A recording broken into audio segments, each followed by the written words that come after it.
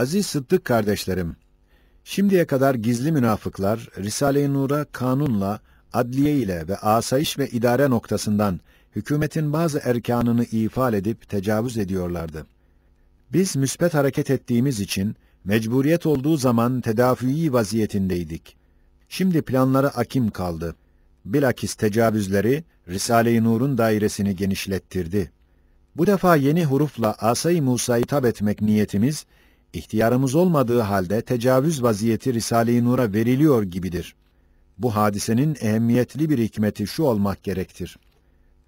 Risale-i Nur, bu mübarek vatanın manevi bir halaskarı olmak cihetiyle, şimdi iki dehşetli manevi belayı def etmek için, matbuat alemi ile tezahüre başlamak, ders vermek zamanı geldi veya gelecek gibidir zannederim.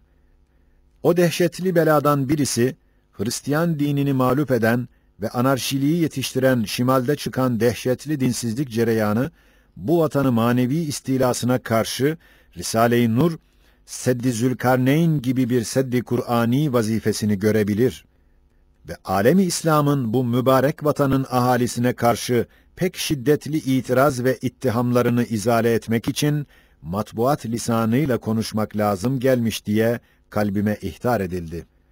Ben dünyanın halini bilmiyorum.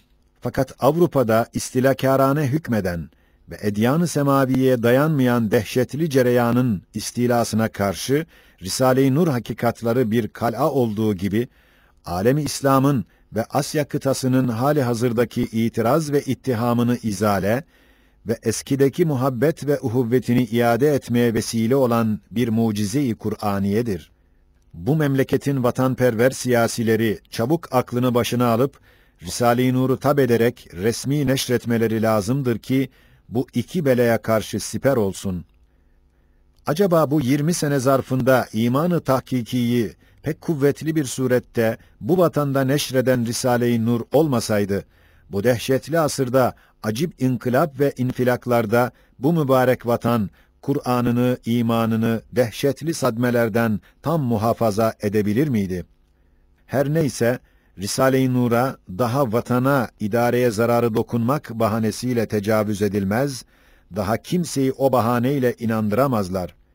Fakat cepheyi değiştirip, din perdesi altında bazı saf dil hocaları veya bid'a taraftarı veya enaniyetli sofi meşreplileri bazı kurnazlıklarla Risale-i Nur'a karşı iki sene evvel İstanbul'da ve Denizli civarında olduğu gibi istimal etmek ve Risale-i Nur'a ve şakirtlerine ayrı bir cephede tecavüz etmeye münafıklar çabalıyorlar. İnşallah muvaffak olamazlar. Risale-i Nur şakirtleri tam ihtiyatla beraber bir taarruz olduğu vakitte münakaşa etmesinler. Aldırmasınlar, aldanan ehli ilim ve imansa dost olsunlar. Biz size ilişmiyoruz, siz de bize ilişmeyiniz. Biz ehli imanla kardeşiz deyip yatıştırsınlar. Saniyen, mübareklerin pehlivanı hem Abdurrahman, hem Lütfi, hem Büyük Hafız Ali manalarını taşıyan büyük ruhlu küçük Ali kardeşimiz bir sual soruyor. Halbuki o sualin cevabı Risale-i Nur'da yüz yerde var. Risale-i Nur'un erkanı imaniye hakkında bu derece kesretli tahşidat ne içindir? Bir ami müminin imanı, büyük bir velinin imanı gibidir diye eski hocalar bize ders vermişler diyor. El cevap, başta Ayetül Kübra, meratibi imaniye bahislerinde ve ahire yakın müceddidi elfisani İmam-ı Rabbani beyanı ve hükmü ki, bütün tarikatların müntehası ve en büyük maksatları hakaiki imaniyenin inkişafıdır. Ve bir mesele-i imaniyenin kat'iyetle vuzuhu bin kerametlerden ve keşfiyatlardan daha iyidir. Ve Ayetül Kübra'nın en ahirdeki ve lahikadan alınan o mektubun parçası ve tamamının beyanatı cevap olduğu gibi Meyve Risalesi'nin tekraratı Kur'aniye hakkında 10. meselesi tevhid ve iman rükünleri hakkında tekrarlı ve kesretli tahşidat-ı Kur'aniyenin hikmeti aynen bir tamamiha onun hakiki tefsiri olan Risale-i Nur'da cereyan etmesi de cevaptır. Hem imanı tahkiki ve taklidi ve icmali ve tafsili ve imanın bütün tehacümata ve vesveseler ve şüphelere karşı dayanıp sarsılmamasını beyan eden Risale-i Nur parçalarının izahatı, büyük ruhlu küçük Ali'nin mektubuna öyle bir cevaptır ki, bize hiçbir ihtiyaç bırakmıyor. İkinci cihet, iman yalnız icmali ve taklidi bir tasdika münhasır değil, bir çekirdekten ta büyük hurma ağacına kadar ve eldeki aynede görünen misali güneşten ta deniz yüzündeki aksine ta güneşe kadar mertebeleri ve inkişafları olduğu gibi imanın o derece kesretli hakikatları var ki binbir esma-i ilahiye ve sair erkan-ı imaniyenin kainat hakikatlarıyla alakadar çok hakikatları var ki bütün ilimlerin ve marifetlerin ve kemalat-ı insaniyenin en büyüğü imandır ve imanı tahkikiden gelen tafsilli ve bürhanlı marifeti kutsiyedir diye ehli hakikat ittifak etmişler. Evet, imanı taklidi çabuk şüphelere mağlup olur. Ondan çok kuvvetli ve çok geniş olan imanı tahkikide pek çok meratip var. O meratiplerden ilmel yakîn mertebesi çok bürhanlarının kuvvetleriyle binler şüphelere karşı dayanır.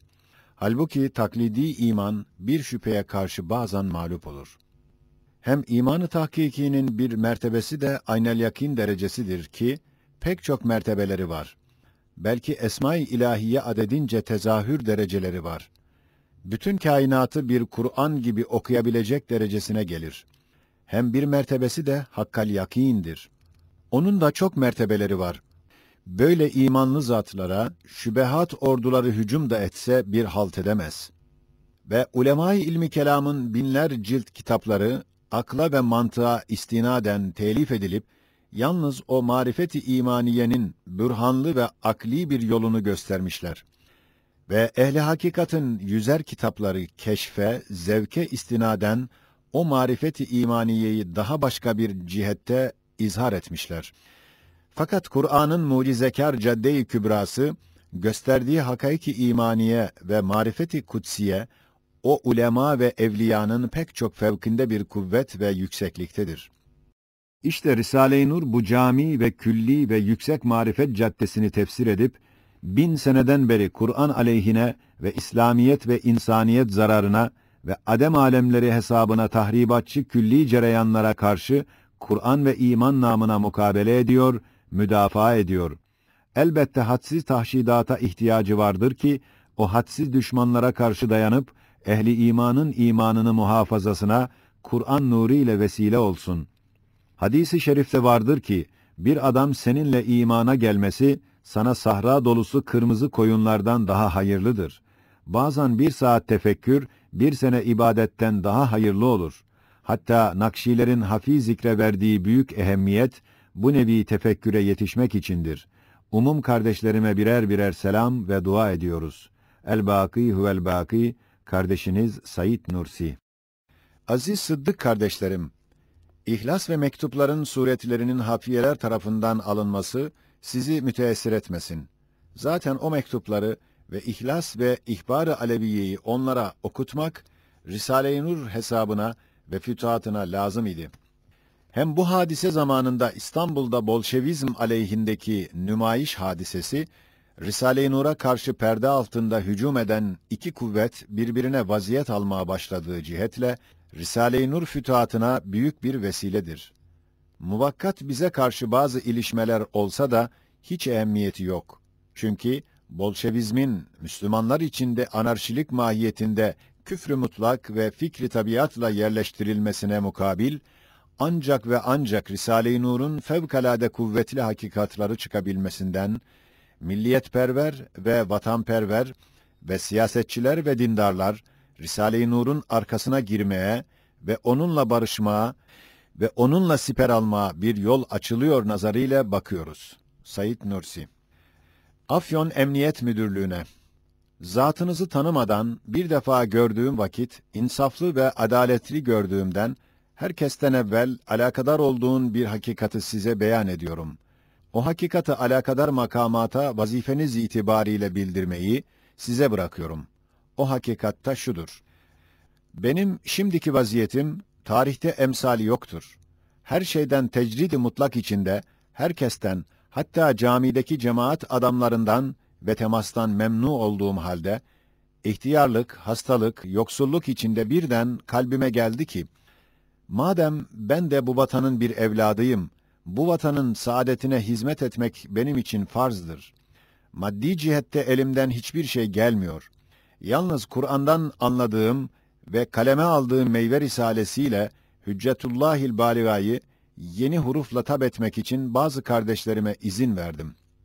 O iki risaleyi iki seneye yakın alakadar Ankara makamatı ve ehli vukufu, hem Denizli Mahkemesi tetkikten sonra mucibi mesuliyet hiçbir şey bulamayarak bize resmen teslim ettiler. Hem cevap gönderdim ki, sansüre ve büyük muharrirlere göstersinler, sonra tab etsinler. Hem tabdan sonra resmen hükümetin 12 makamatına vermek bir usuldür. Sonra da İhlas Risalesiyle İktisat Risalesini de o iki risalenin ahirine ilhak edip yeni hurufla tab edilsin. Katiyen size beyan ediyorum ki benim maksadım bunun tabında bu mübarek milleti ve vatanı manevi ve maddi anarşilikten muhafaza etmek ve asayiş ve inzibata manevi yardım etmek ve anarşiliği uyandıran harici bir cereyanın istilasına manevi set çekmek ve alemi İslam'ın bize karşı itiraz ve ittihamını izaleye ve eski muhabbet ve uhuvvetini celbetmeye çalışmaktır.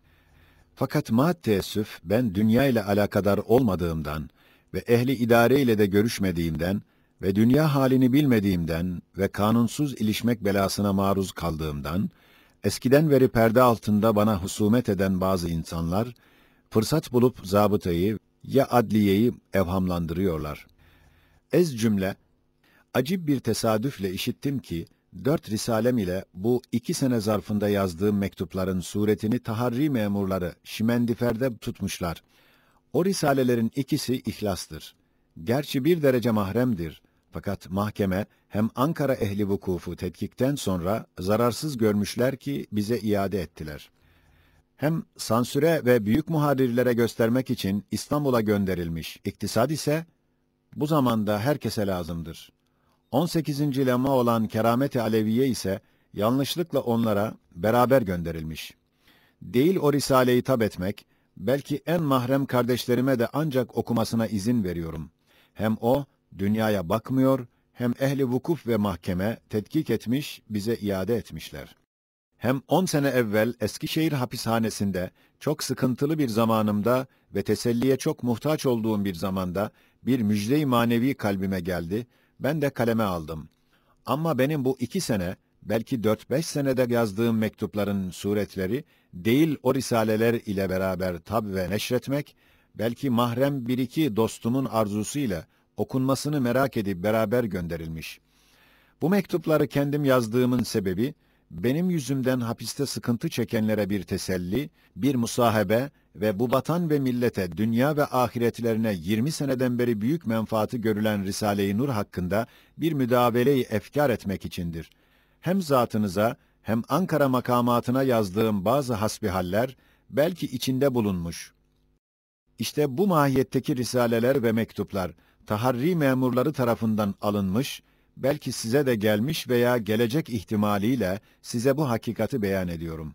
Benim şimdi pek ağır 5-6 cihetteki sıkıntılarıma, evham yüzünden kanunsuz bana iliştirmeye meydan vermemenizi sizin vazife perverliğinizden ve ciddiyetinizden ümid ediyorum. İstanbul'da hadiseyi gören Risale-i Nur talebelerinin mektubundan bir parçadır. Aziz kardeşlerimiz, lehul hamdu vel minne, dün nurun manevi bir fütuhatı, bütün azamet ve dehşetiyle İstanbul'da görüldü. Küfrü mutlakı dünyaya, hususan alemi İslam'a yerleştirmek isteyen bir cemiyet ve onun naşiri efkarı ve mürevvici amali olan bir iki gazete matbaası ve kütüphanesi darmadağın edilerek dinsiz yaptık, komünist yaptık zannedilen gençlik ve mekteplilerin ağzıyla ve harekatıyla ve fiilleriyle protesto edildi. Kahrolsun komünistlik diye beddualar edildi. Bu cemiyetin binler lira maddi, milyonlar lira da manevi zararı oldu. Ve üzülen bizlere, kalbimiz ve ruhumuzla çok alakadar bir şahs-ı manevi, Ey nurcular! Şimdi maddi imkan hasıl olmuyor diye üzülmeyiniz. nurun fütuhatı geniş bir sahada devam ediyor. Külli bir muvaffakiyet hasıl oluyor vesaire vesaire diye bağırdı. Hâzâ min fadli Rabbi.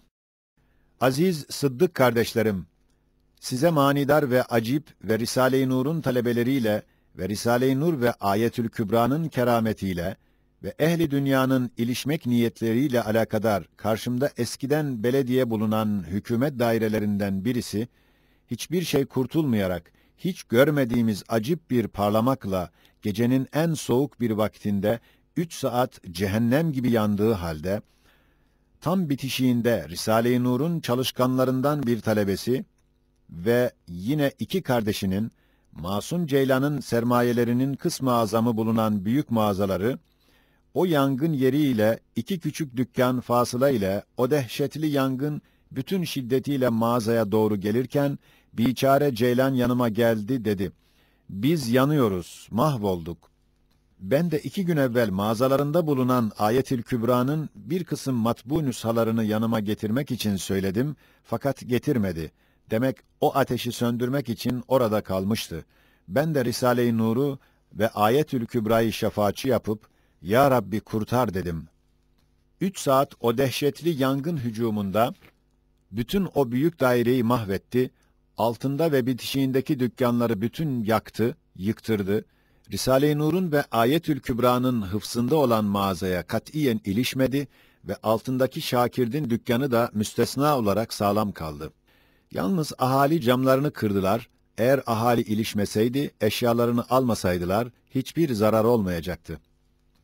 İşte Isparta Halıcı Hanesi'nin yangını ile Risale-i Nur'un derslerine köşklerini tahsis eden zatların o dehşetli yangınla bitişik iki kardeşinin iki hanesinin kurtulması Risale-i Nur'un bir kerameti olduğu gibi Kastamonu'da aynen bu Emirdağ yangını gibi orada karşımdaki dehşetli bir yangının ittisalindeki Risale-i Nur şakirtlerinden Hafız Ahmet'in evi harika bir surette kurtulması ve hemşiresinin üçüncü kat yangın içinde harika bir tarzda hem elmas ve altın mücevheratını hem canını Risale-i Nur'un berekatıyla kurtarması misüllü, burada da bu yangında Risale-i Nur'un çalışkan talebelerinden ve çalışkan hanedanından üç kardeş olarak dört zatın o dehşetli yangından kurtulması, Risale-i Nur'un ve Ayetül Kübra'nın bir kerameti olduğuna hem benim hem onların hem sair kardeşlerimizin kat'î kanaatımız geldi.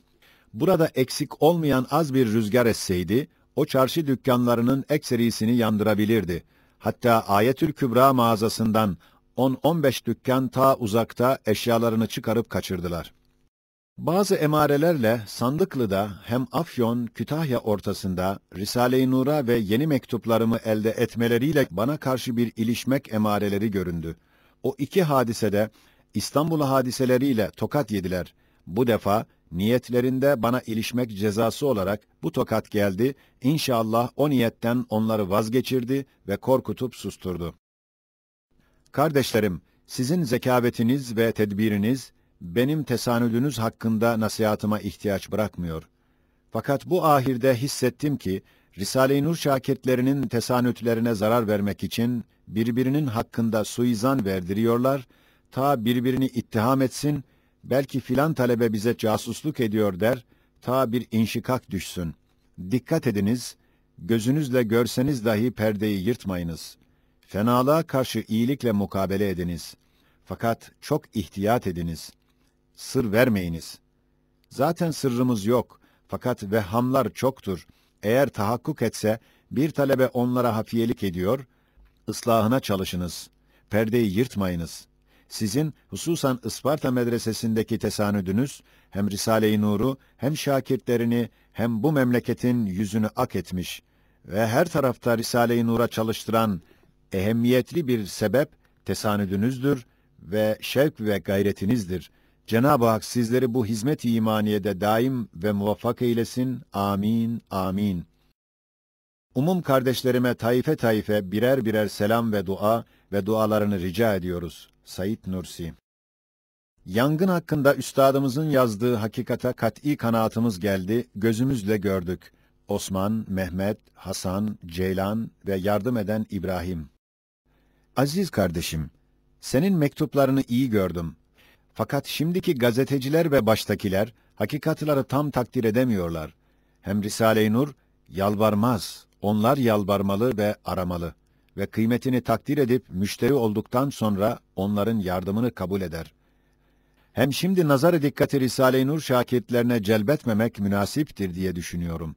Fakat yedi sene harbi umumiye bakmayan ve 25 sene gazeteleri okumayan, dinlemeyen bu kardeşinizin fikri bu meselede sorulmaz. Asıl fikir sahibi sizler ve Risale-i Nur'un has şakirtleri ve müdakkik naşirleri meşveretle, hususan Isparta'dakiler ile maslahat neyse yaparsınız. Senin bu güzel mektubunu lahikaya yazdık. Risale-i Nur'un lahika risalesinde Feyzi ile Emin ehemmiyetli mevki kazanmışlar. Acaba ne haldedirler? O ehemmiyetli mevkiye muvafık vaziyete muvaffak oluyorlar mı? Kederleri yok mu? Hem hapishanede hakikaten merdane ve fedakârane istirahatıma çalışan ve on sene şahsıma hizmet kadar beni minnettar eden taş köprülü Sadık ve Hilmi ve İhsan ne haldedirler? Ve o civarda hususan İnebolu'daki kardeşlerimi unutamıyorum.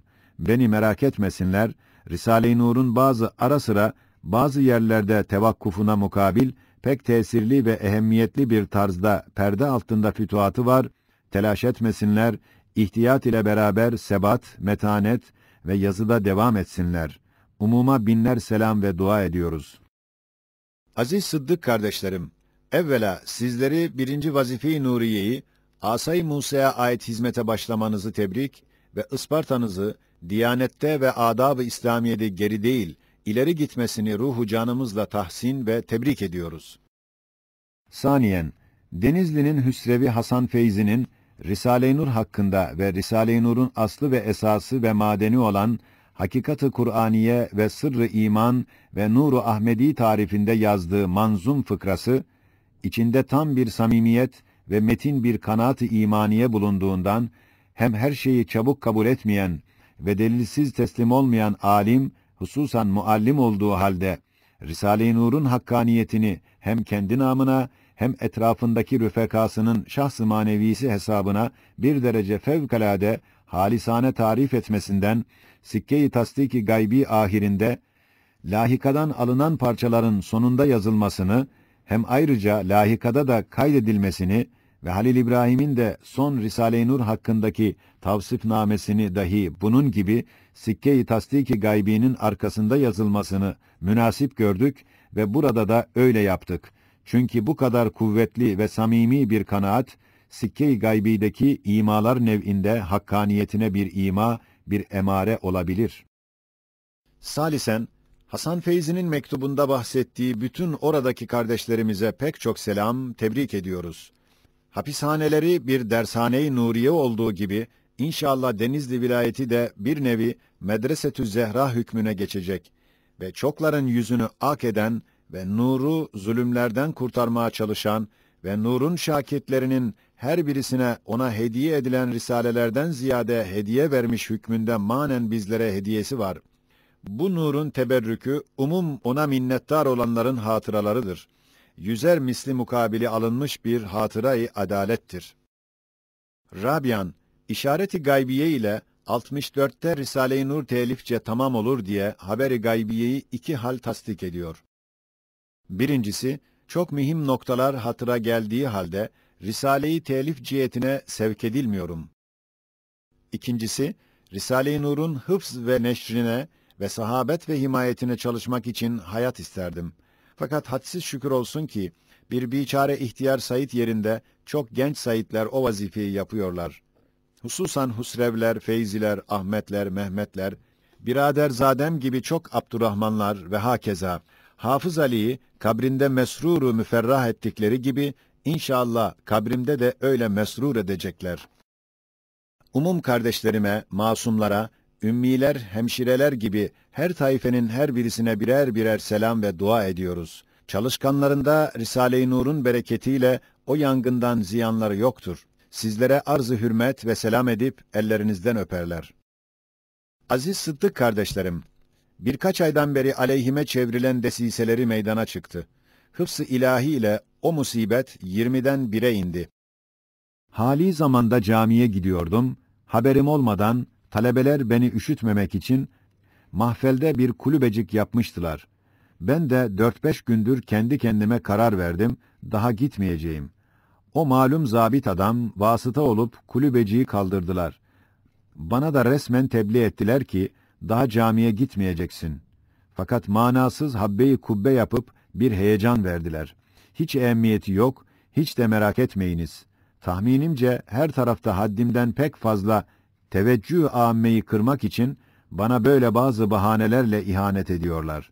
Eski zamanımı düşünüp güya tahammül etmeyeceğim, halbuki Risale-i Nur'un selamet ve intişarına halel gelmemek şartıyla her gün bin ihanet ve tazipler de gelse Allah'a şükrederim. Ben ehemmiyet vermediğim gibi buradaki talebeler de hiç sarsılmıyorlar. Çoktan beri beklediğimiz bu hadise de inayeti ilahiye ile hafif geçti. Umum kardeşlerimize birer birer selam ve dua ediyoruz.